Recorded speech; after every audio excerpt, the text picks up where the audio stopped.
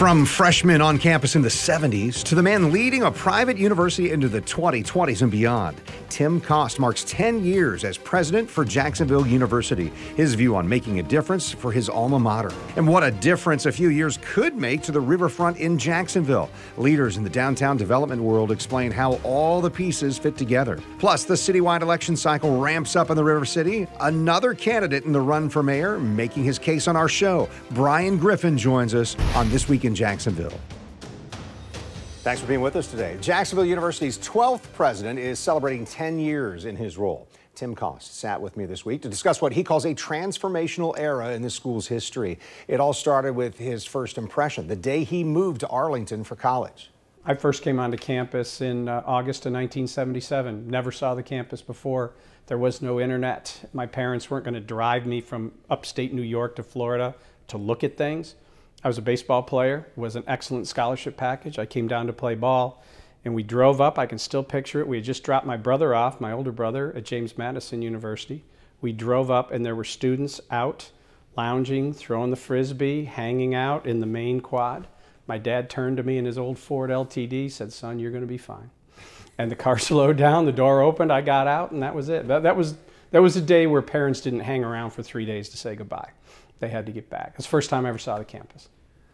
What stood out to you, even that freshman year, and then throughout that four-year career uh, as an undergraduate, that made you go, "Boy, I've got affection for this place." Sure. It was a, this university was completely different than how I grew up, which was a, you know a predominantly narrow, of its class, white New York, upstate. Uh, come down here, First time I ever heard that many languages, saw that many colors, uh, people of, of, not only nationalities, but interests and tastes. Um, and it just completely opened my eyes. Second of all, it was the warmest weather I'd ever seen in my life, growing up in Syracuse, New York, where you got 150 inches of snow. But it was kind of this richness of the experience. And I was blessed that in my four years, Fran Kinney became president.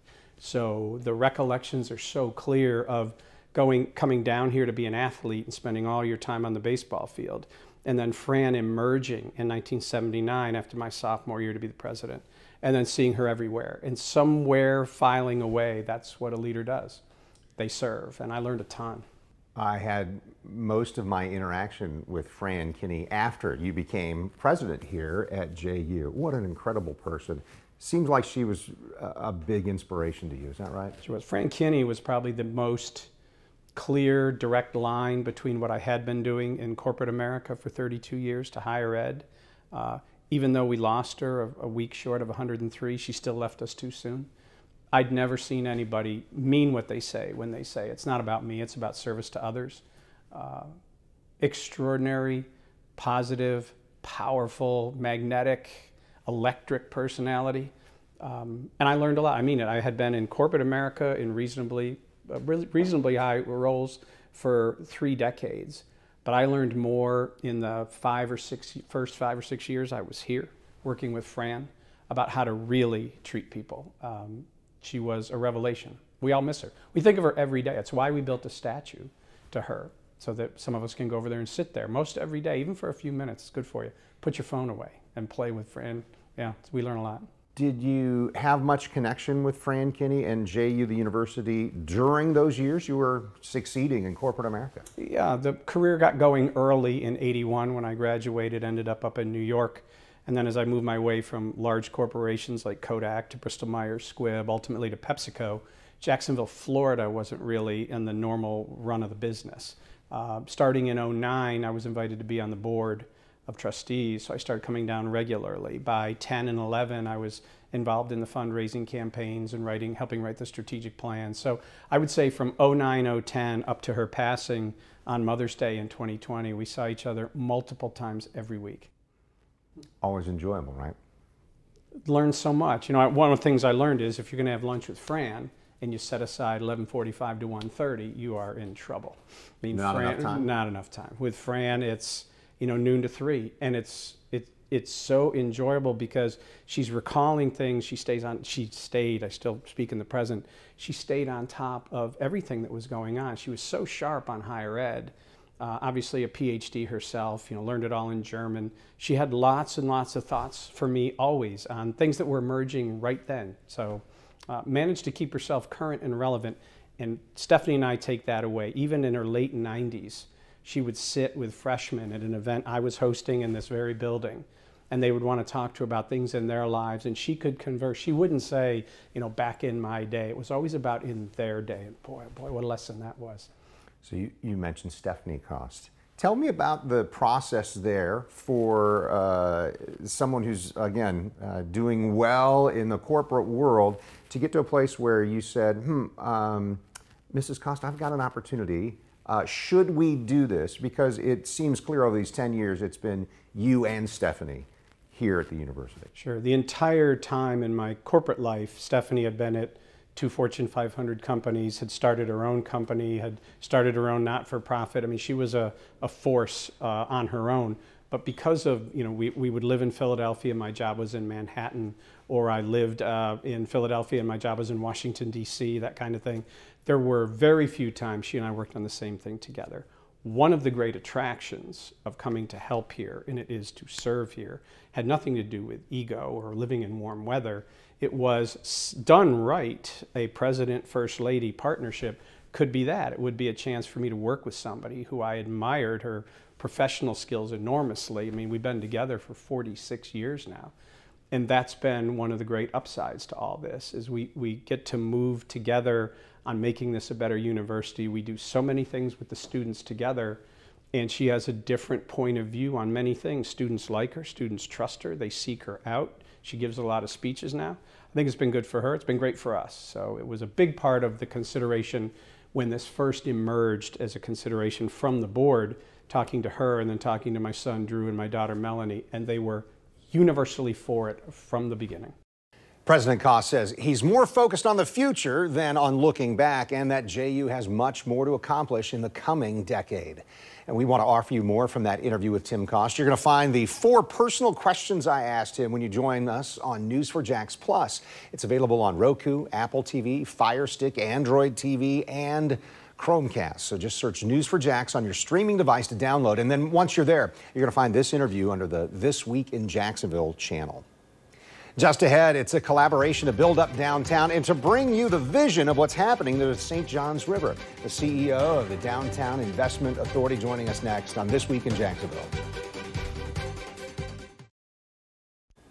You're watching This Week in Jacksonville with Kent Justice. And we thought it was a pretty interesting event this past week. The City of Jacksonville's Downtown Investment Authority, Department of Parks, Recreation, and Community Services, in collaboration with Build Up Downtown, the Jesse Ball DuPont Fund, and Riverfront Parks Now, hosted a free community event. They called it Riverfront 2025 A Look Ahead. That event took place at the Jacksonville Main Public Library multipurpose room. It was on Wednesday night. And joining us right now, Lori Boyer, CEO of Downtown Investment Authority. Why did I think this was interesting? Because it, it seems like these plans all maybe fit together, and it was really cool to get the big picture.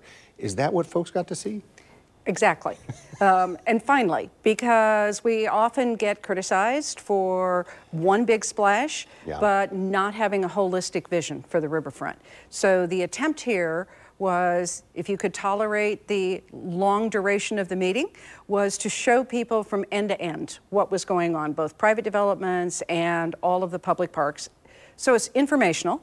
And then also to get public comments on the park designs that were underway. So we we're looking at video at from from that meeting, and you said the long duration, uh, three hours, something like that. we right? had a three-hour time slot, yes. and the presentation ended up being more like an hour and a half, hour forty-five, but well, it was great. And as we're looking at some of these images.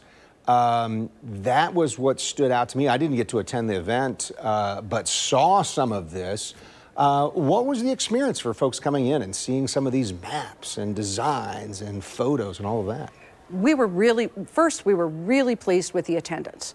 Um, we had over 400 people at the event, and, and that's a huge turnout for any kind of public sure. meeting, especially yeah. where there's not controversy. And the other part of it was that, generally speaking, most people were really excited and very positive about what they were seeing. So, you know, we've made a big effort to do a lot of public outreach, and we did a design competition on the Riverfront Plaza. And then this was the ability to come back and say, okay, we listened, and this is what you said you wanted, and here it is. So that was really, you know, an important message that we wanted to convey that we had been paying attention, all the public outreach, all the surveys people answered, and things they have done over the last couple of years are incorporated in one space or another. You, you, mentioned to me as we were preparing for the interview that it wasn't just about parks, but clearly that was like audience focus, right? Correct. So to make it this cohesive vision, what we also wanted to show was where the private developments are and how they support and supplement the park development that's going on the riverfront. So while the parks provide a lot of resiliency, you also need restaurants and you also need activities around those to help serve the people who are enjoying the Riverwalk and enjoying those parks. So that gave people a chance to ask the developers themselves questions about timelines, yeah. about what was included and what wasn't, and it also gave them a chance to look at the plans next to one another. Downtown Investment Authority, 10 years, is that right? 10 years that it's been? 2012 we were created. And so when that was created, and then, so you were serving city council, city council president at one point, now in charge of DIA, but uh, in that time, how would you describe the impact DIA has made in bringing together something like this? What's happening in downtown and these plans for 2025 and beyond? Well, from our DIA perspective, you know, it's a concentrated focus on downtown and really an effort at coordination with all of these other organizations. The Parks Department had a presentation, um, had multiple presentations at this program, and one of the things that they were focused on was they're doing wonderful park projects all over town not just on the riverfront, not just in downtown, but they led with that and then broke it down to this particular area to show what the parks are in this area. And I, th- I think they, they really did an outstanding job of not just showing the riverfront parks and the riverfront activity, but also broader park development across the city and the wonderful things going on. One of the things I wanted to ask about initially in our reporting, we said, oh, lots of millennials there. But you said that was not the entire scope of the audience. It was pretty broad, the age range, right? It really was. Um, I was surprised uh, at that in the reporting. And from our standpoint, we're very happy that millennials came because they're sometimes a harder group to reach. And it's important that things that we build serve them as well. They're going to be there for a longer period, next sure. generation. But I would say probably a third of the audience were seniors. So you have a lot of seniors downtown, and you had others that were interested, as well as families. I mean, we had a number of, you know, younger adults and children that came. So. So uh, there's always some pushback. There's always some people who say, ah, there are plans. We always hear plans. When are we going to do something?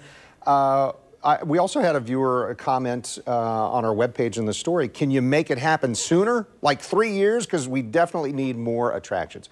What's your maybe final argument for folks about why this is important and why going to something like this can be really helpful?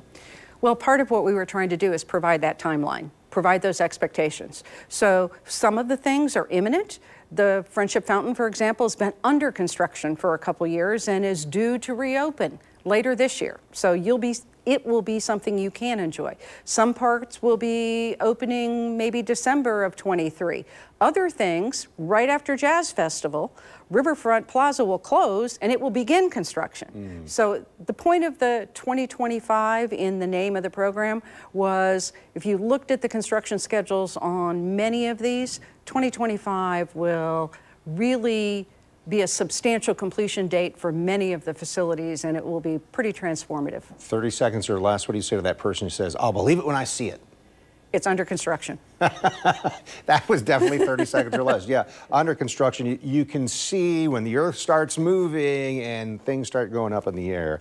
Uh, and certainly a lot of people just hopeful that they'll get to see that. And then, as this person just, this viewer just saying, get to enjoy it. Lori Boyer, I appreciate it. Uh, and uh, like I said, some great images online. It was pretty exciting. Thank you. All right. Well, stay with us uh, as we turn to Jacksonville's city election. I look forward to introducing you today to Brian Griffin. He is running for mayor. That's next on This Week in Jacksonville. Don't go anywhere. And if you're only joining me Sundays for This Week in Jacksonville, you're missing out. Be sure to subscribe to my weekly TWIJ newsletter. It's a real bonus for News4JAX insiders. Just head to news4jax.com slash newsletters and click to sign up under This Week in Jacksonville.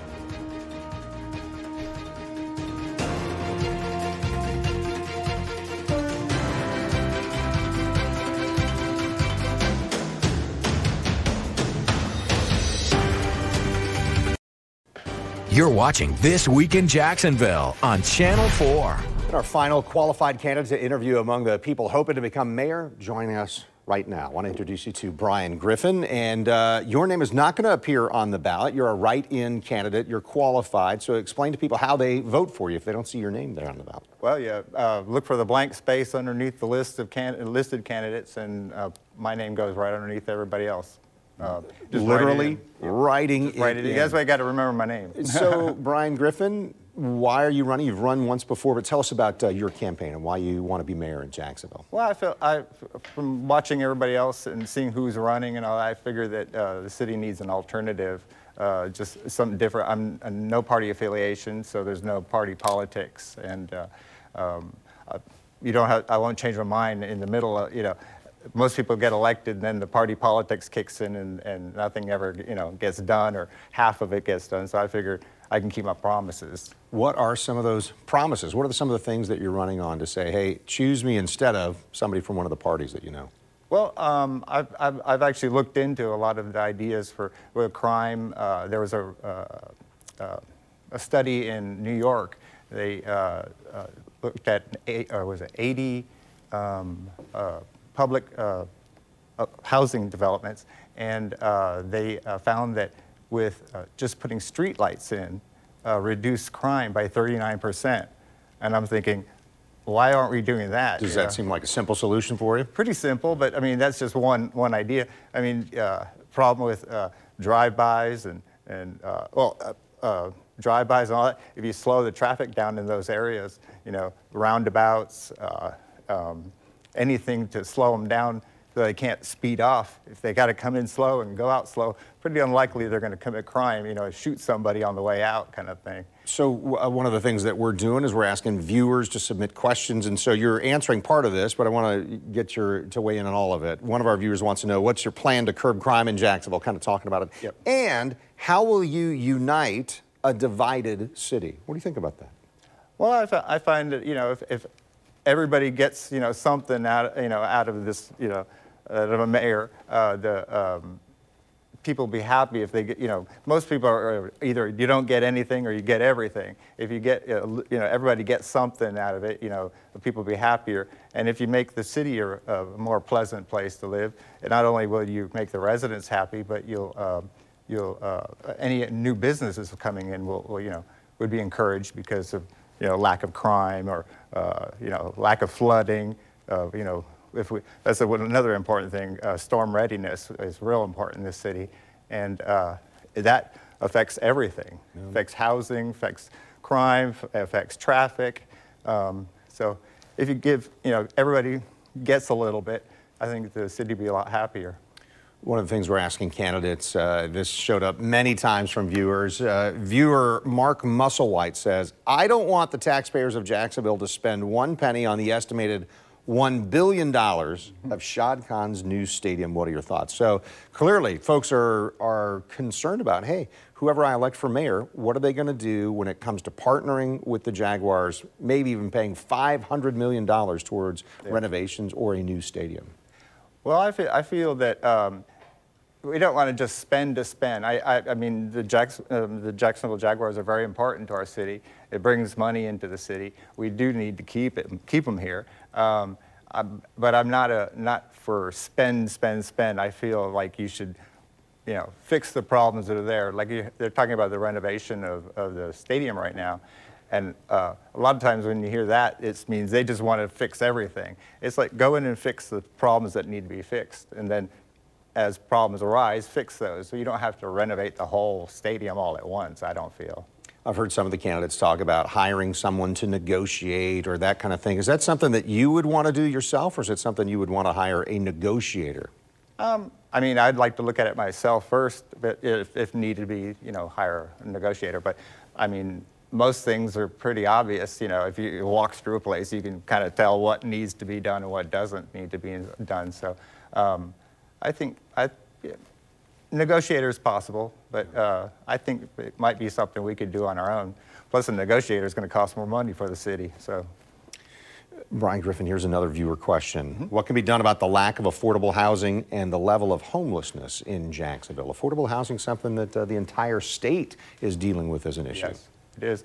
Um, I, feel, I feel that we need to um, make or create more incentives to get builders and developments to, to have more affordable housing here. Um, it's, a, it's a big problem, and uh, if we don't uh, do something about it, it's just going to progressively get worse. I, I, feel we should try different alternatives, uh, di bring different builders in. You can get different price ranges. Um, you might, might be able to even, if you get the right builders in here, you might be able to go from uh, a renter turning them into a, an owner. You know, and on all of that, there's uh, a, the big thing nowadays is tiny houses or tiny homes. You could put those anywhere. You could have a tiny home development anywhere, and that would be great for homelessness you know, you could put it in the right areas for them, and uh, and uh, it would be a controlled situation where you know the city oversees it, so it doesn't you know become a, a, a mess or something. But it would be an alternative to uh, to you know get people off the street basically, because yeah. most people don't you know. I'm sure the majority of people don't intend to be homeless. You know, they, that's their circumstance. Yeah. Yep. Brian Griffin, the circumstance is you're the write-in candidate, no party affiliated, and uh, we appreciate the time here as we interview all the candidates for mayor in Jacksonville this time. Thank you for being with us. Thank you. well, a reminder, you're going to find each of the mayoral candidates' interviews online at news4jax.com and streaming on News 4 Jax Plus. This Week in Jacksonville airs each Sunday morning this time. I'm Kent Justice. Thanks for watching.